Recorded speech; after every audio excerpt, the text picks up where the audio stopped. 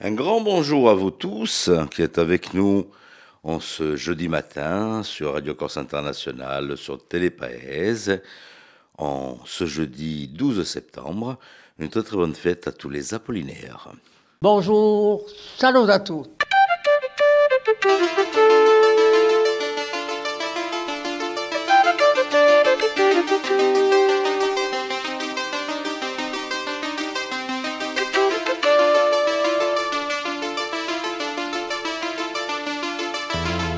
All'ascolto di Radio Corsica Internazionale, prima Radio Corse. Voilà, c'est parti pour une nouvelle matinale, en ce jeudi. Voilà, j'espère que vous avez passé une très, très bonne nuit. On va vous souhaiter aussi de passer une très très bonne journée. Nous allons débuter avec euh, cette matinale avec Philippe Jam, qui va nous donner d'abord le bulletin météo, et puis après, bien sûr, l'information de ce jour.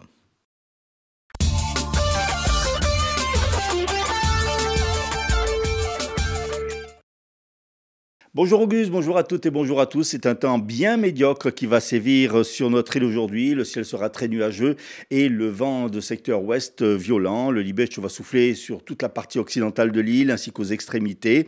La Corse a même été placée en vigilance jaune avec des rafales qui pourront atteindre jusqu'à 130 km/h. Les températures maximales seront en baisse, 20 à 25 degrés, des températures qui seront bien en dessous des normales de saison.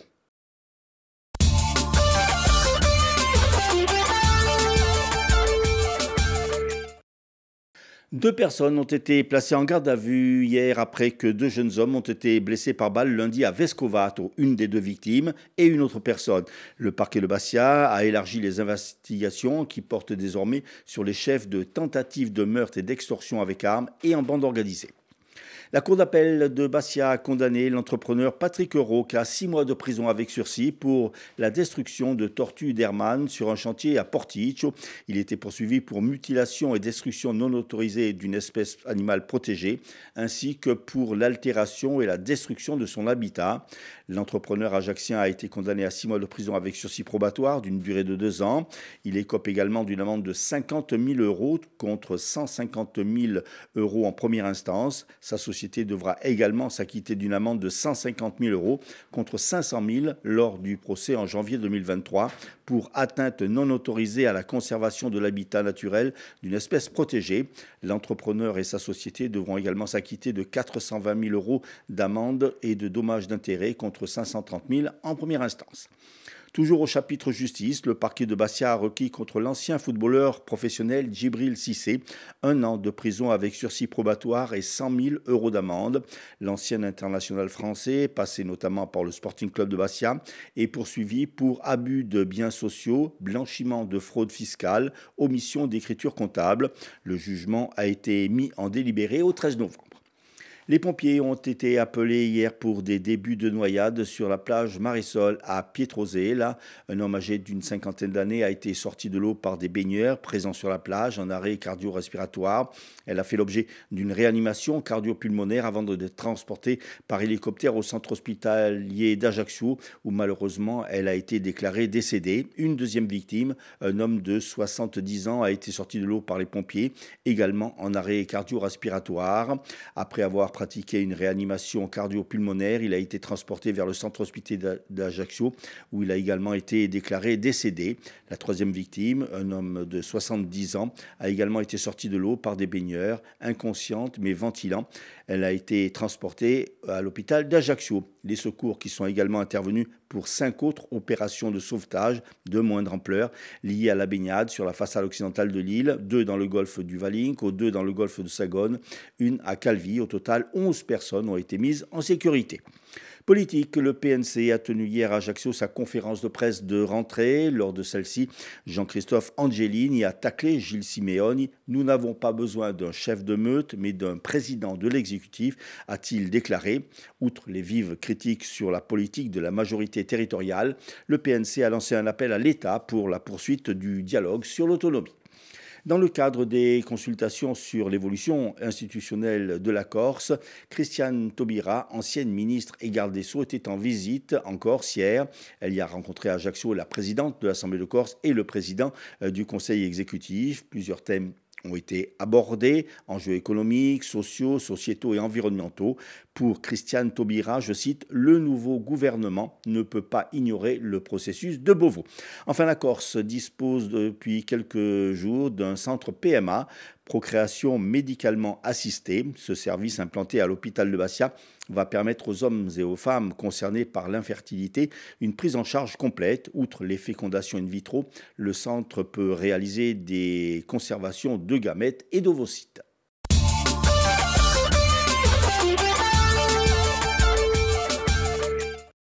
Un petit détour sur les hippodromes de l'Hexagone pour les pronostics hippiques.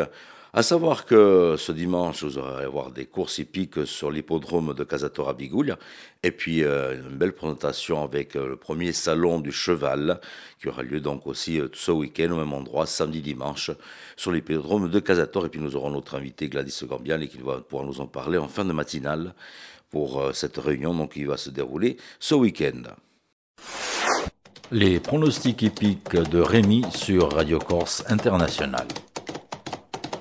Bonjour à tous, ce jeudi dans les bons coups du jour, nous serons sur l'hippodrome de Longchamp pour le Quintet. Je vais y retenir le numéro 4, Martin, qui devrait lutter pour la victoire. Passons à la réunion de Mokanchi, où dans la troisième, le 16, Jade devrait se placer, et on terminera par la septième, où le 6, l'amiral Turgot devrait l'emporter. Bon jeu à tous. Allez, faites vos petits tickets donc, euh, de PMU. Pour le moment, allez, un petit détour sur l'horoscope avec Paxi.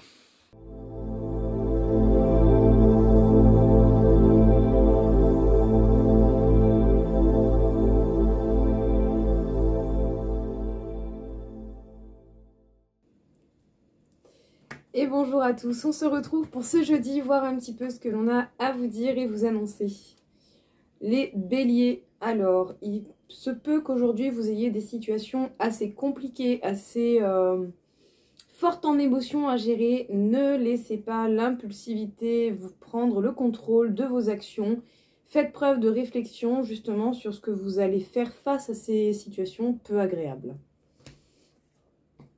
Les Taureau, vous allez avoir des nouvelles qui vont certainement vous donner quand même une sensation de perte. Il y a des choses qui vont bouger, qui vont changer, qui vont se terminer, qui vont être amenées à une évolution différente. Adaptez-vous et voyez qu'est-ce que vous pouvez faire pour aller au mieux à votre rythme vers ce changement. Les Gémeaux, vous allez vous sentir soutenu par vos proches, par vos amis, par les personnes qui vous aiment et ça, ça fait du bien. Les cancers, vous allez avoir justement de bons résultats avec vos amis et certaines discussions qui peuvent concerner justement vos amis ou des situations. En tout cas, pas d'inquiétude. La finalité des choses sera bien plus sympathique que ce que vous pouvez imaginer. Les lions, vous allez peut-être vous sentir particulièrement perturbé aujourd'hui dans le domaine sentimental. Ne vous inquiétez pas, ce n'est qu'une phase de transition, ça ne va pas durer. Les vierges, vous avez le succès par rapport à vos actions, à vos efforts et à votre côté pragmatique. Les balances, aujourd'hui vous allez avoir des idées très fructueuses qui vont apporter de bons résultats au niveau du côté professionnel ou au niveau du côté financier. Les scorpions, aujourd'hui sera peut-être une journée sous le signe du repos. Tranquille, on se la coule douce et purée, qu'est-ce que ça fait du bien. Les Sagittaires, vous allez avoir des informations qui aujourd'hui vont vous permettre eh de rebondir sur une situation qui était bloquée jusqu'à présent. En tout cas, vous allez pouvoir avancer et ça c'est cool. Les Capricornes, vous allez vous sentir particulièrement heureux par rapport au domaine sentimental, peut-être pour certains, pourquoi pas, une rencontre intéressante et pour d'autres, simplement une très belle journée avec la personne que vous appréciez. Les Verseaux, votre envie de changement se fait sentir, mais pour le changement, il faut également s'adapter aux événements que la vie vous apporte. Et enfin, les Poissons. Les reproches et les critiques peuvent être compliqués à accepter par moment. Ça va vous donner une certaine lenteur dans votre avancement personnel. Prenez le temps qui est nécessaire et avancez surtout à votre rythme. Rien n'est imposé. Voilà tout le monde, je vous souhaite à tous une belle journée et je vous dis à bientôt.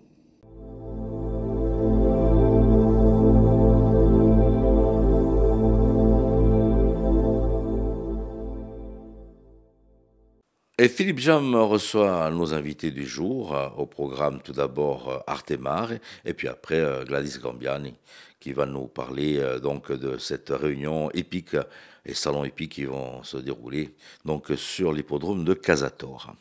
Nous allons parler cinéma, mais pas que cinéma d'ailleurs, avec notre invité d'aujourd'hui qui s'appelle Michel Corotte et qui est la présidente du festival de l'association Artemar qui organise le festival du même nom.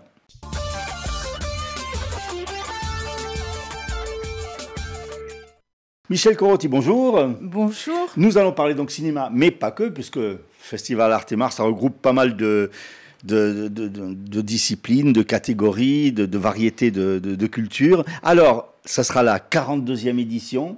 Déjà, c'est ça? Oui, oui, que le temps passe vite. La 42e édition est la première édition hors des murs du théâtre. Ah oui, ça va, ça va changer. Alors, quel est le thème? Alors ça s'appelle Quoi de neuf docteur? Ce qui peut permettre euh, de poser une, une question sur la santé des gens en général, euh, peut-être aussi la santé du cinéma, la santé des festivals euh, et comment va le monde, mais plus précisément, comment sera-t-on soigné dans les années qui viennent? Il y a un gros débat sur la médecine avec des invités tout à fait prestigieux, des pontes de la médecine et le président de la mutualité française qui se déplace. Et puis autour de ça, alors le débat bien sûr euh, animé par euh, notre ami Christophe, Christophe. mais autour de ça, toute une programmation de cinéma qui va euh, d'un court métrage d'une jeune réalisatrice très talentueuse qui s'appelle Marion Le Corollaire, euh, aux deux invités qu'on pouvait espérer euh, sur une telle thématique, c'est-à-dire euh, Thomas Lilti, qui est médecin et réalisateur, et qui, à qui on doit, entre autres, la célèbre série de Canal Hippocrate. Mhm. Il avait fait le film euh, du même nom, euh, un film qui s'appelle aussi Première année, etc. Enfin, vraiment, euh, c'est une thématique qu'il poursuit d'œuvre en œuvre, de film en film. Donc, Thomas Lilti sera là. et puis Nicolas Philibert, qui est sans doute un des documentaristes les plus connus au monde, les plus célébrés, qui a une carrière tout à fait prestigieuse et qui récemment euh, a consacré une trilogie à la maladie mentale. Alors, du cinéma, bien sûr, avec beaucoup de films, anciens et nouveaux d'ailleurs, et plusieurs compétitions. Parce qu'il y a la compétition quand même dans ce Bien sûr, euh, les trois compétitions, compétition du long métrage méditerranéen, compétition du film corse avec euh, cinq fictions et cinq documentaires, et puis compétition du court métrage d'école de cinéma méditerranéenne. Donc trois compétitions et trois jurys. Et un festival euh, du, film méditerranéen qui va englober un petit peu tout. Un panorama, d'avant-première méditerranéenne qui est très très riche, dans, dans lequel on trouve euh, des films corses et des films corses très très attendus. Vous savez que cette année est vraiment l'année du cinéma corse avec trois longs métrages mhm, euh, célébrés dans, dans, les plus grands festivals, c'est-à-dire Cannes, Venise. Eh bien, nous ouvrons avec le film de Frédéric Farucci, Le Mohican, qui a été sélectionné à Venise, mhm. et nous passerons le film de Julien Colonne, Le Royaume. Donc euh, on est immensément fiers, et ce d'autant plus qu'en partenariat avec le Régent, nous avons euh, proposé, euh, il doit y avoir huit jours je crois, l'avant-première du film de Thierry de Peretti. justement, vous parlez du Régent, et en fait il y a plusieurs lieux, il y a l'Albor, il y a le Régent. Alors le Régent, notre partenaire, mhm. là aussi, partenaire euh, habituel euh, du, festival et qui va accueillir en deuxième semaine euh, la rediffusion de films, de la compétition et du panorama. Et la première semaine, eh bien, il y a aussi une programmation Régent.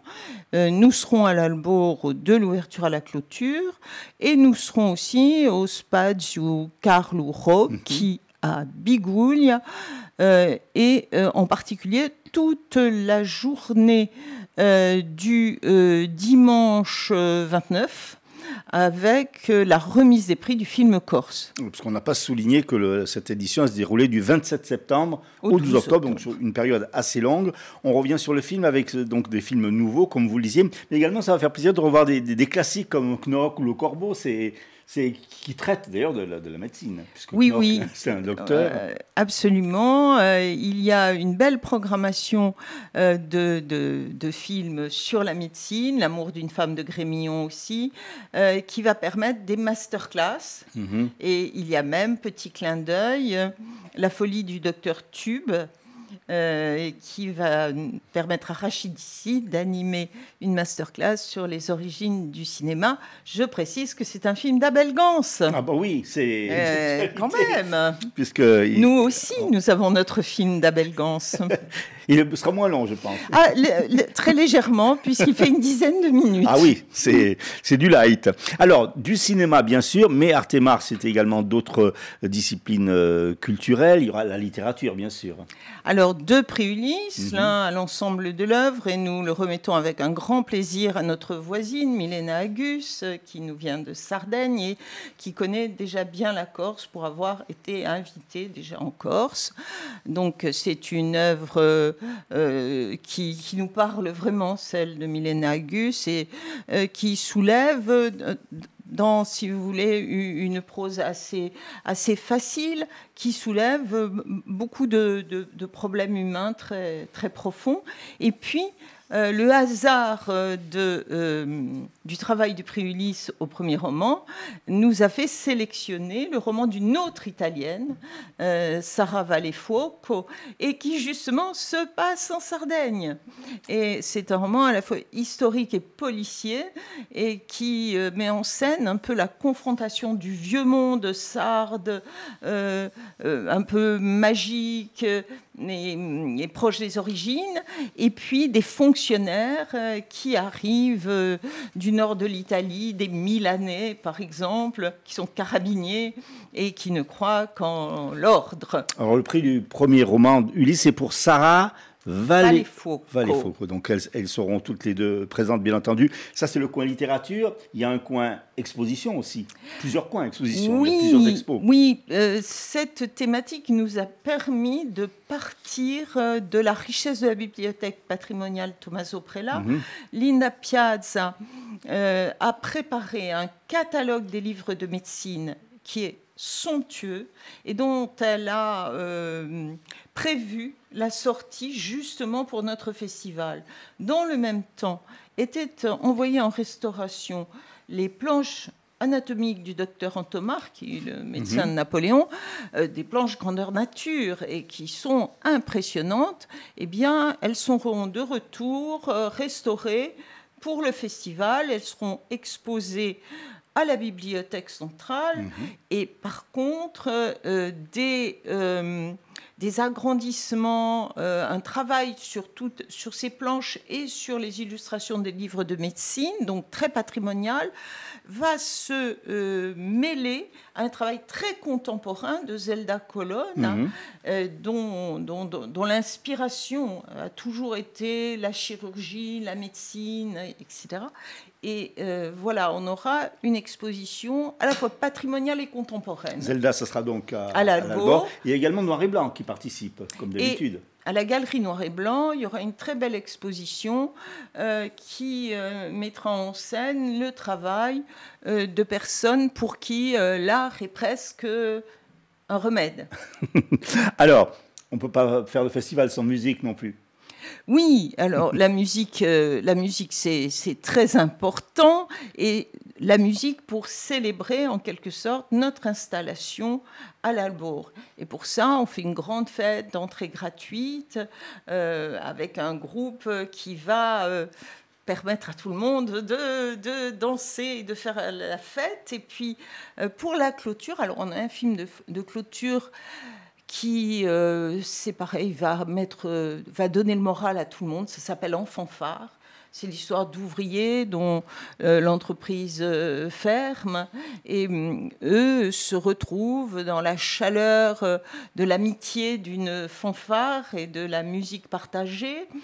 Et c'est pour cela que nous avions demandé à la lyre d'accompagner ce film et nous saurons non seulement la lyre, mais l'orchestre régional au complet pour la clôture du, festival.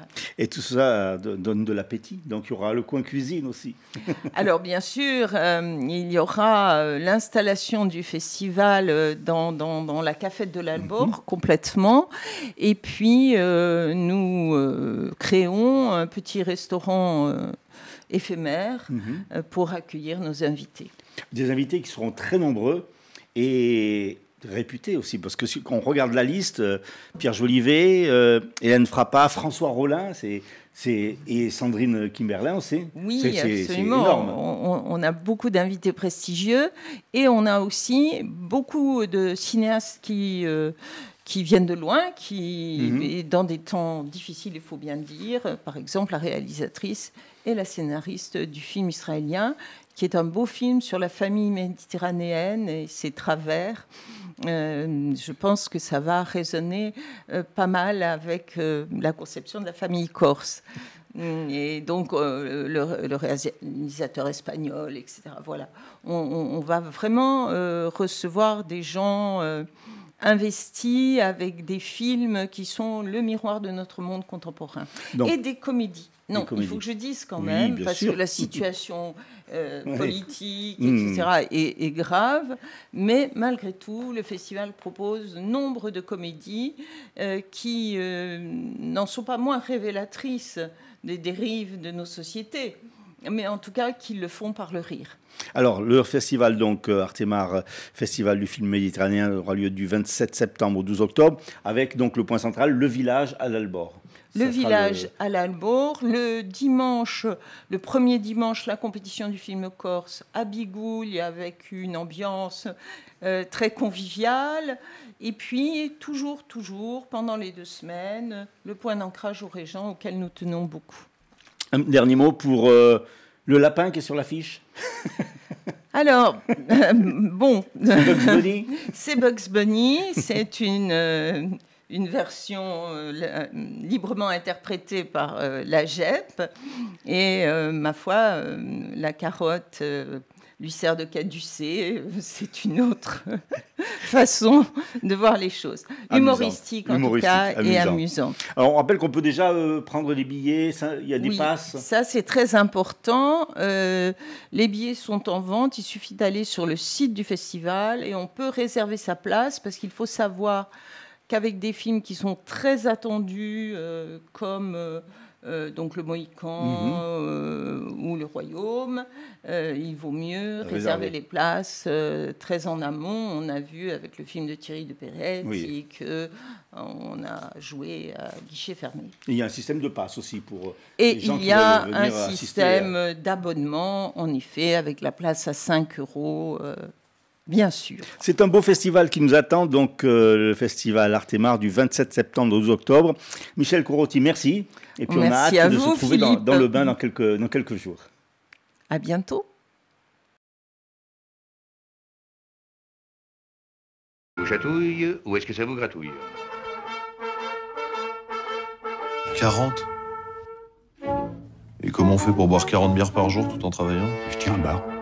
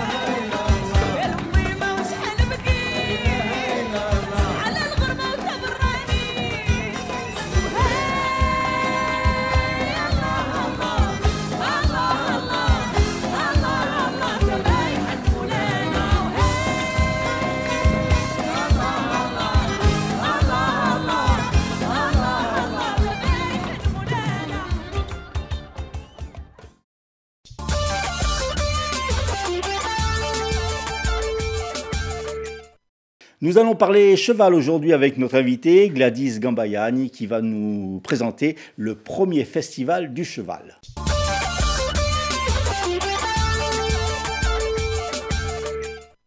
Gladys, bonjour. Bonjour. Alors, ce premier festival du cheval qui va se dérouler donc euh, ce week-end, 14 et 15 septembre, à l'hippodrome de Casator. Comment est venue l'idée de ce festival en fait? Alors, euh, dans un premier temps, le but étant de dynamiser l'hippodrome, la Société des courses de Bigouille a voulu euh, vraiment entreprendre des actions pour que justement euh, la foule revienne à l'hippodrome comme il y a à peu près 30 ans. Mhm, C'était le rendez-vous incontournable. tout, vrai. Tout à fait. Donc on souhaite euh, redynamiser l'hippodrome et donc faire des activités autour du cheval autres que les courses euh, professionnelles. Ça, ça part aussi de l'amour que vous avez pour les chevaux. Ah oui, alors oui, j'ai un amour particulier pour les chevaux. Et depuis petite, bien que ma vie a fait que j'ai dû m'en séparer, mais euh, le cheval reste le cheval. Alors, comment va s'articuler ce, ce festival? C'est sur deux jours? Alors c'est sur deux jours, donc euh, du coup le but étant de faire une, on dira, fête du sport, mais que du cheval. Mhm. Donc on met en avant tous les clubs de la région. Ils pourront donc toutes les personnes qui sont intéressées pourront venir pour prendre des renseignements et voir les différents clubs de la région. Nous proposons euh, pas mal de jeux pour enfants. Donc même si euh, c'est pas dans un but de s'inscrire dans un club, on peut venir. Il y a pas mal de jeux le samedi. Nous aurons des démonstrations aussi de maréchal. Ferrand Ferrand, oui, oui, je précise, maréchal Ferrand. Euh, ça, ça sera tout au long, donc le samedi et le dimanche. Et euh, le samedi soir, nous aurons un veau à la broche Ah qui, est assez- qui a été euh, demandé. Donc, Mhm. euh, du coup, on a été à l'écoute des demandes. Veau à la broche avec un groupe et jusqu'à 23h. Donc, euh, on va manger, faire la fiesta. Nuit festive. Tout à fait. Comment on, on- on ré- quelle a été la réaction? Comment les, les- les clubs de hippiques ont, ont accueilli ce, ce premier festival? Alors très bien parce que justement euh, ils se plaignaient qu'il se passait pas grand chose Mhm. hormis leur concours officiel Mhm. et là du coup ça met en avant leur club et donc ils auront des stands. Le dimanche matin on fait aussi un Equifun pour toucher euh, les enfants. Parce que bon, il y a aussi des adultes qui font du Equifun, mais euh, c'est une discipline très ludique.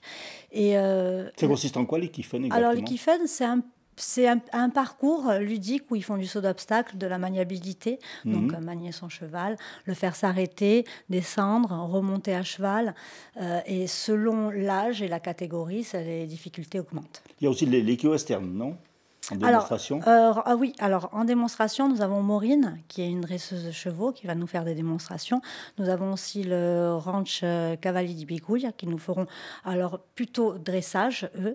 Ça, ça sera le dimanche. Alors, il y a- Euh, il y, a- il y a des concours aussi. Bon, parce qu'il y aura les courses, il faut le signaler, c'est que dimanche, il y aura les courses. Oui, tout avec à fait. possibilité de PMU. Tout à fait. Possibilité de PMU. Donc, vous avez cinq courses de galop et deux de trot. Donc ça, c'est organisé par la Société des courses. Mm. Et ça, se- ça se déroule le, le dimanche à partir de, je crois que c'est 13h30 les courses. hein. C'est ça. Mais avant, en amont, il y a, y a y y a des- il y a des animations et pas mal de concours aussi pour les amateurs. Oui, alors, euh, donc, euh, le, comme je vous disais, le dimanche matin, on a Equifun. Et euh, entre chaque course, nous avons une course de chevaux amateurs, une course de poney amateurs et des démonstrations équestres. Voilà. Il y aura des, des baptêmes de poney aussi pour les, pour les Oui, gamins. tout à fait. Tout à fait. Donc c'est une journée non-stop. Donc je crois que le samedi, c'est à partir de 13h30 C'est ça. Le samedi à partir de 13h30. jusqu'à plus d'heures. Et, et le dimanche à partir de 10h du matin, avec possibilité de se restaurer sur place. Donc premier festival, ça veut dire que bien sûr, vous vous comptez qu'il y en ait un deuxième, un troisième. On espérait, oui, tout à fait. Et Donc- un quarantième aussi, hein, pourquoi Oui. pas? Un quarantième, pourquoi pas? Donc on donne rendez-vous donc euh, samedi et dimanche à l'hippodrome de, de Casator pour ce premier festival du cheval organisé donc par euh, la Société des courses et De Bigoulia. de Bigoulia. Merci Gladys. Merci à et vous. à ce week-end. À ce week-end. À Dada. À Dada. Mon cher Philippe, on se fait un petit point sur les titres d'information de ce jour. Le rappel des titres, ce qu'il faut retenir de l'info de ce jeudi, dans le cadre de l'enquête sur deux jeunes hommes blessés par balle lundi à Vescovat, où deux personnes ont été placées en garde à vue, une des deux victimes et une autre personne. L'entrepreneur Patrick Roca a été condamné à six mois de prison avec sursis pour la destruction de tortues d'Hermann sur un chantier à Porticcio. Lui et sa société devront également payer de fortes amendes de plusieurs centaines de milliers d'euros.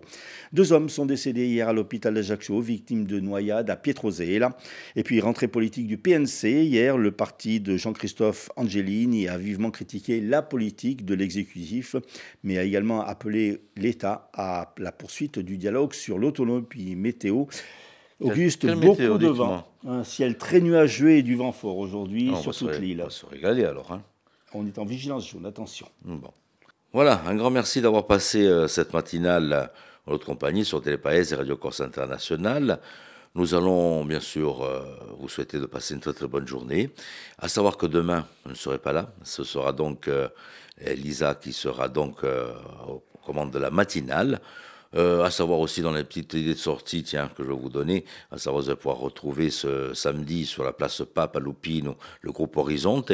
Et puis vous avez aussi la foire de Porto Vecchio qui va se dérouler donc ce vendredi et samedi, donc euh, sur euh, le quartier Porrette de Porto Vecchio. Voilà, n'hésitez pas donc à, profiter de, ces deux animations qui sont prévues donc pour ce week-end. Allez, bonne journée à tous. hein, je vous embrasse très fort. Et tenete forte e ce noi ci ridurremo luni. Bonjour, salut à tous.